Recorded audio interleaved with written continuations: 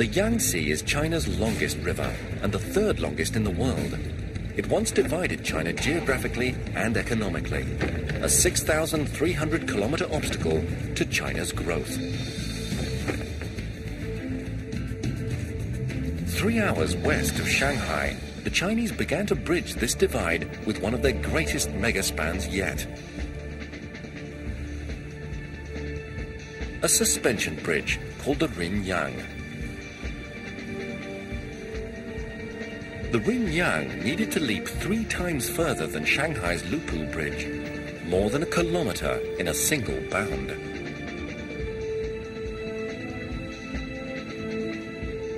It would be the longest bridge the Chinese had ever built, and the third longest suspension bridge in the world.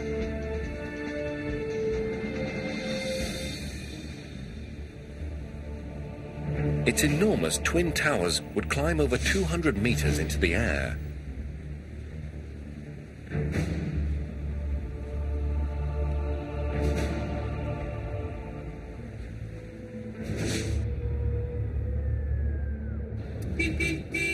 For residents on the Yangtze's north side, the bridge would mean faster and safer travel to Shanghai and a chance to share in China's new wealth. The North Bank was cut off from Shanghai by the Yangtze. But now the Runyang would replace a ferry ride that could take two hours with a 10 minute drive.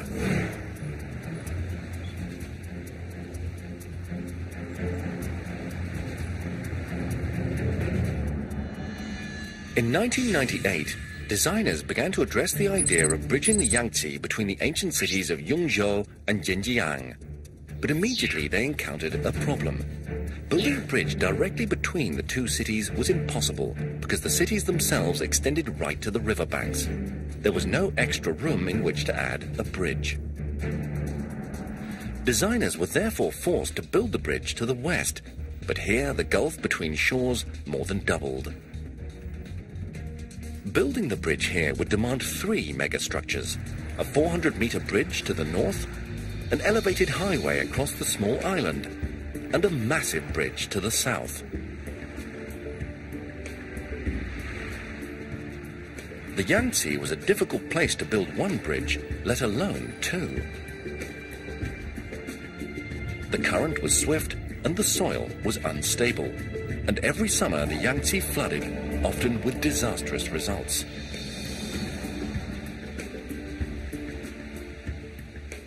A deluge just months before construction started inundated an area larger than England. If there was a severe flood during construction of the Runyang, it could cripple the project.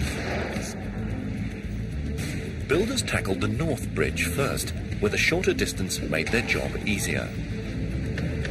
They erected a cable-stayed bridge, the cheapest and simplest design. Roadway was supported by cables attached directly to two towers. This 400-meter structure had no trouble spanning the river's north channel. Cable-stayed bridges have been built that are twice the length needed here. It was a huge construction project but not record-breaking.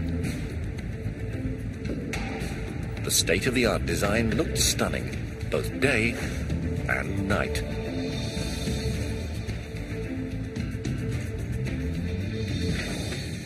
The builders of the South Bridge faced far greater challenges.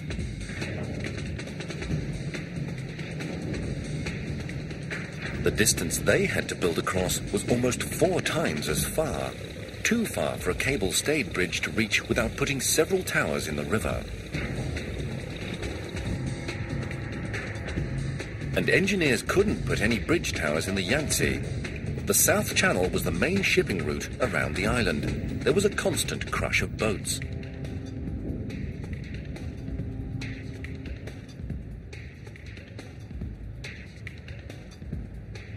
If just one vessel strayed off course and rammed a bridge pier, the damage would potentially be catastrophic. Engineers learned this the hard way when a ship collision destroyed a bridge and lives in the United States. The Chinese engineers faced a long list of challenges in their attempt to bridge the Yangtze River. The water was over a kilometer wide, and typhoons and earthquakes could strike at any time. But by far the biggest threat to the bridge was a wayward ship.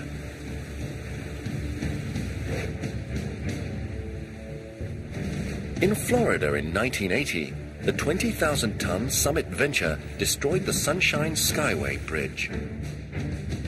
The ship was navigating Florida's Tampa Bay in bad weather. It lost radar, veered off course, and slammed into a bridge support. The central span collapsed.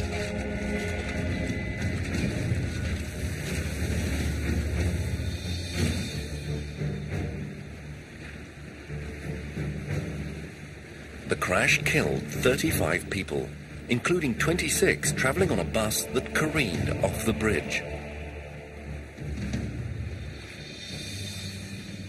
The Runyang's builders did not intend to risk such a tragedy. They would base as much of their bridge on land as they could, and only one design could leap the huge distance and keep the towers near shore. A suspension bridge. The design for the Runyang, like every modern suspension bridge, relied on two main cables that stretched from one shore to the other. At each end, the meter-thick cables were rigidly anchored. But everywhere else, the main cables could and would move, even across the top of the towers. The towers were like tent poles, propping up the cables. But the cables were simply draped over the top, if the main cables were anchored to the tower tops, the towers would not be able to withstand the pulling forces. They would tumble inwards and the entire structure would be lost.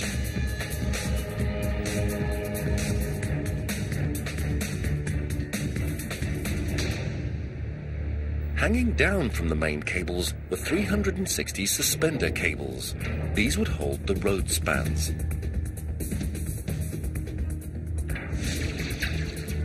And these joints were also made to move. This flexibility would help the bridge to survive extreme poundings from earthquakes and typhoons.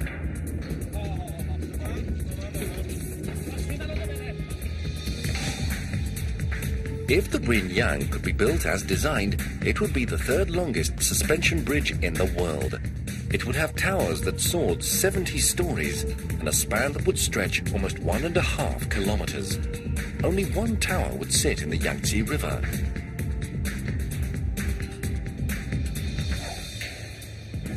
Just two other bridges in the world had longer spans. Denmark's Great Belt and Japan's Akashi Kaikyo.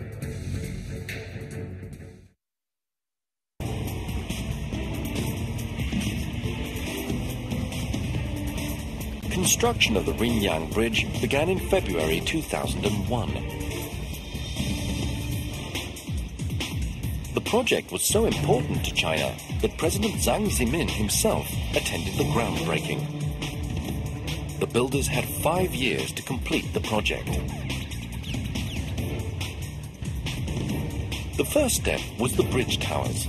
Because the towers needed to withstand tremendous downward forces from the cables, engineers wanted to plant them on bedrock.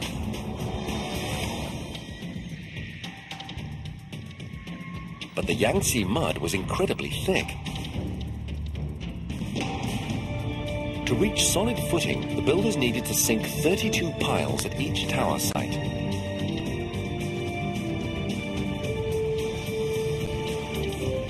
These piles would act like giant stilts, standing on the bedrock below and supporting the 200 meter towers above.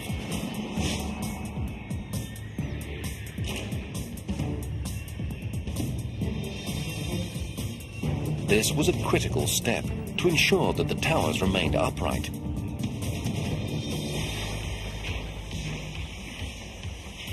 If they started to tilt, there could be no stopping them. Before builders could finish the bridge, they needed to solve another critical problem. it was imperative that the anchor blocks that held the main cables were not able to move. But the ground here was so muddy and weak that the cables could have pulled the anchor blocks out of place. Overcoming this weak link would be the most difficult and dangerous job of the entire project. China's Runyang Bridge would be the third longest suspension bridge in the world. Loads on its main cables would be enormous. The cables would tug at their anchor blocks with the force of 68 million kilograms. Designers needed to prevent the anchor blocks from moving or the bridge could collapse. To do this, builders would have to extend the anchor blocks at least 30 meters underground. They would be the largest anchor blocks the Chinese had ever built.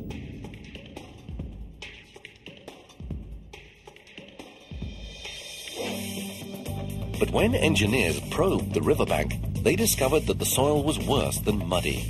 It was laced with underground water. This was a major setback. Engineers would have to find a way to divert the groundwater, or watery mud would pour into any hole they dug.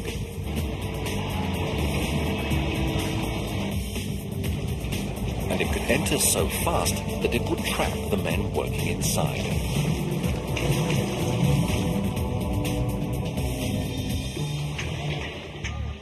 The engineers devised a plan.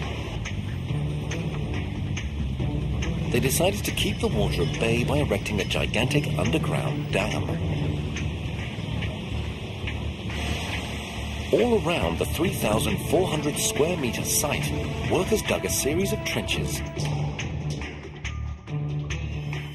They filled the trenches with rebar and concrete. The walls kept the water out, making it safer to dig within. But there was still a problem. North Shore workers were using China's only deep trench digger. So on the South Shore, the contractors were forced to take a riskier approach. They decided to control the deep underground water by freezing the ground. To do this, they needed to construct a huge refrigeration plant the plant chilled salt water to minus 20 degrees Celsius. Salt water has a much lower freezing point than fresh.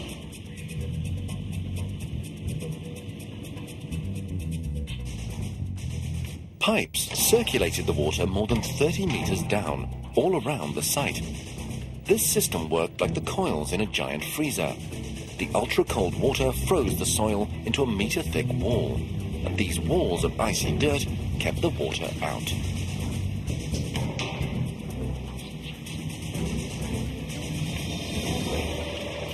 With groundwater no longer circulating inside the two sites, the soil became safer to dig. The excavation went on 24 hours a day as the crews tried to finish before the summer floods threatened to fill their excavation site with water.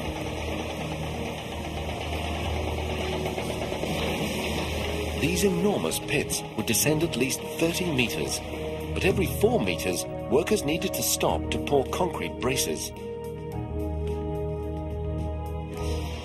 The deeper the workers went, the more dangerous the job became. Groundwater was constantly pushing the walls towards collapse, and the deeper the hole, the stronger the pressure.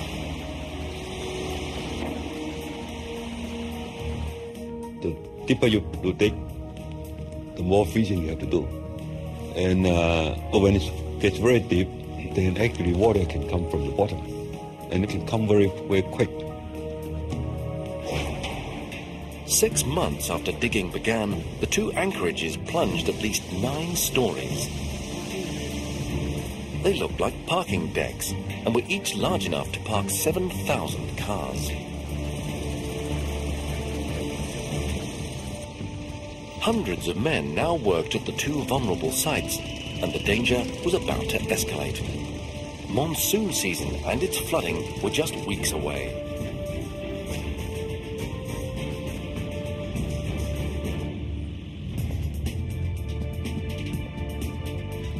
Building China's longest suspension bridge required constructing two of the country's biggest anchor blocks.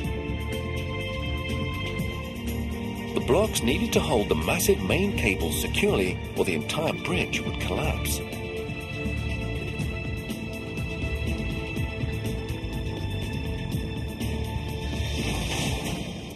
So far, workers had excavated 280,000 cubic meters of dirt. But engineers now decided it was too risky to continue. They ordered the crews to the next stage of construction. Workers filled both anchorages with ballast, 310,000 cubic meters of concrete and sand the Runyang's engineers had won their first race against the tumultuous Yangtze and escaped disaster.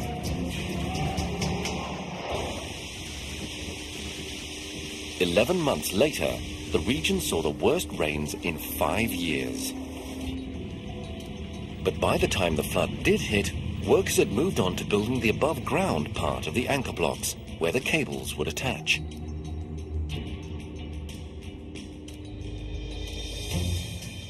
But you can't just hook the end of a main cable into the concrete. It would pull right out.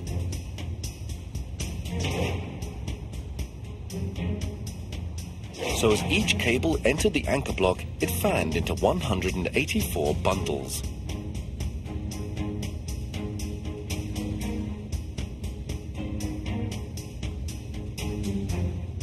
Cable spread from 1 meter to 9 meters wide this distributed the pulling force across 83 square meters. Each cable bundle was separately anchored in concrete.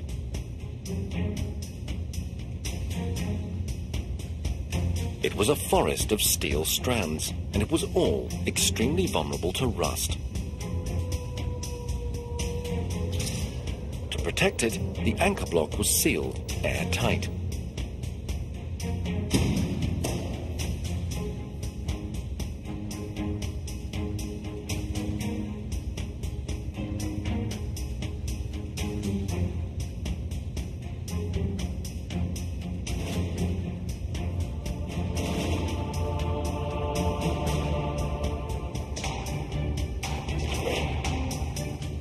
Atmosphere was constantly dehumidified, so rust couldn't form. From the anchor blocks, the cables climbed to the top of the bridge towers and across the river.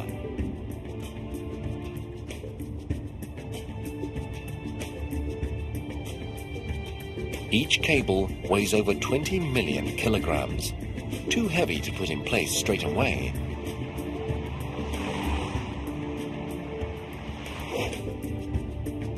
The builders would have to string them one strand at a time.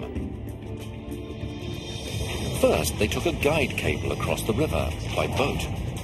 To do this, they needed to block all ship traffic.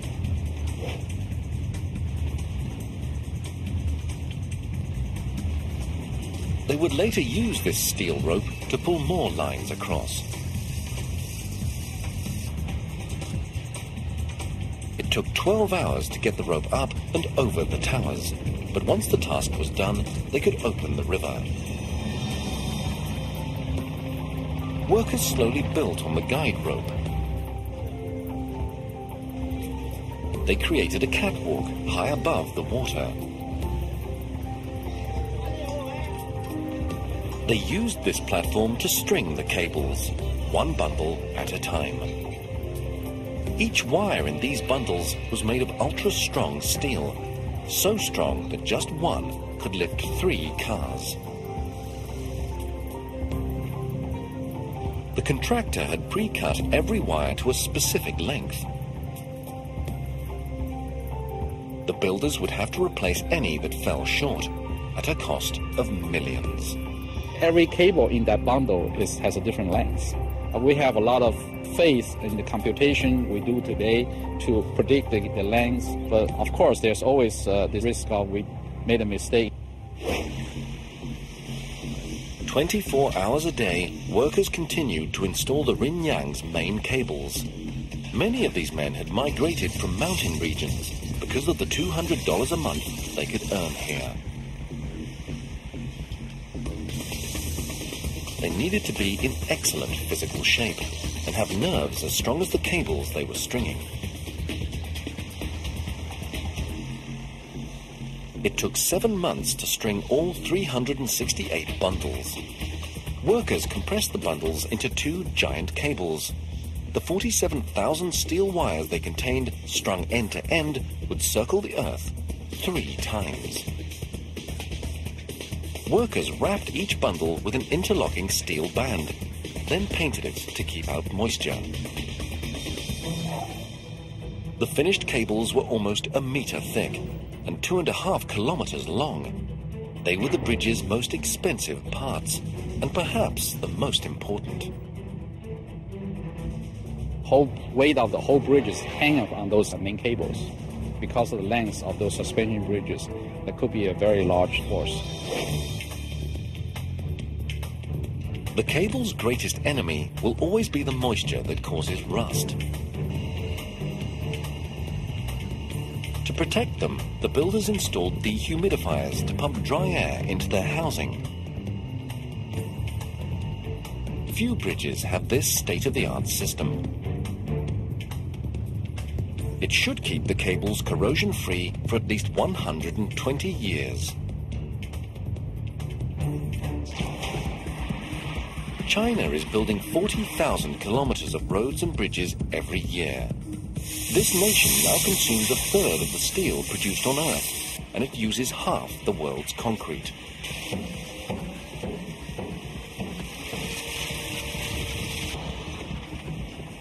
This building boom may be the biggest in history.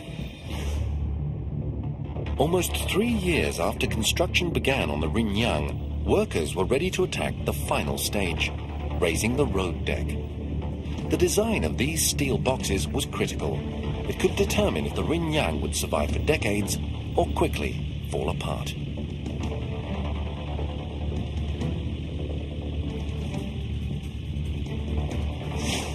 This happened to one suspension bridge in the United States. In July 1940, the Tacoma Narrows Bridge in Washington state opened to traffic. At the time, it was the world's third longest suspension bridge. Right from the beginning, it had a problem. Light wind would set it in motion. It quickly earned the name Galloping Gertie.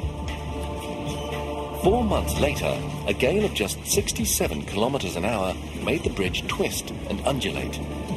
The motion fed on itself, amplifying to a catastrophic condition called flutter.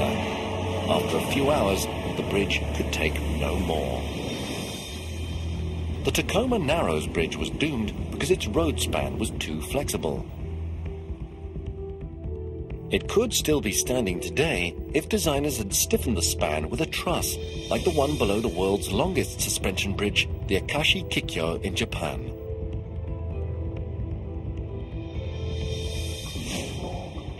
China's Runyang Bridge was nearly twice as long as the Tacoma Narrows.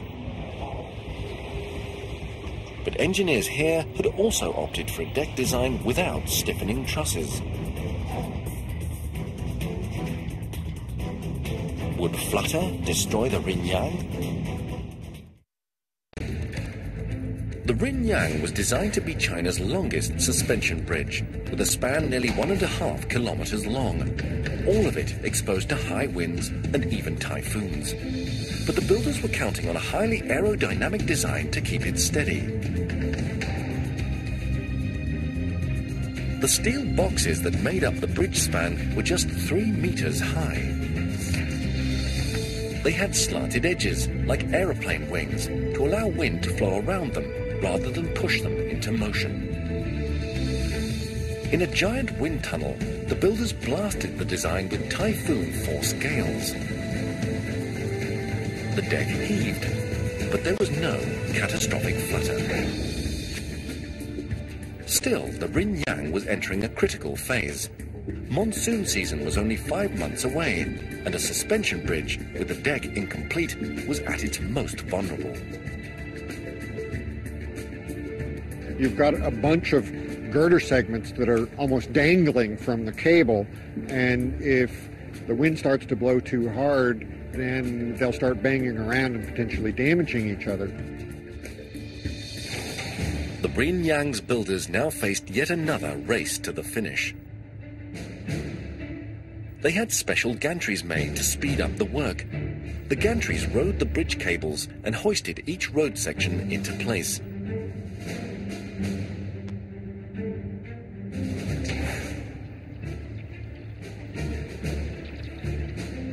Ninety days after lifting the first slab, the Runyang's road crew locked the last one into position. The 1,490 meter span, the third longest in the world, was complete. Almost immediately, the tough job of maintaining it began. Like the bridge cables, the span's 25,000 tons of steel can corrode.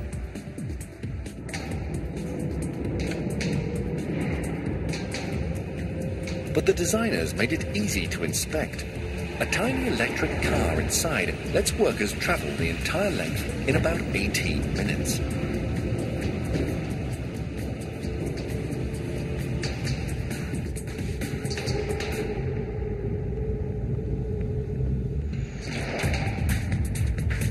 In the shadow of the bridge is a high-tech control center.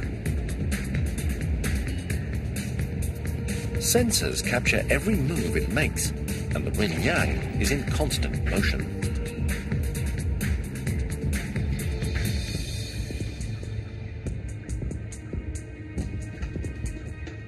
This flexibility is unique to suspension bridges.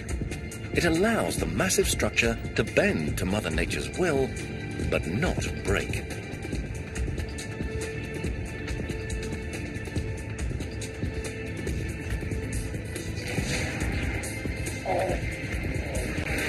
30th of April 2005, China's longest suspension bridge opened to traffic, several months ahead of schedule. It had taken four and a half years to build at a cost of 700 million US dollars. The region now had an economic lifeline between North and South, and China entered the record books once again.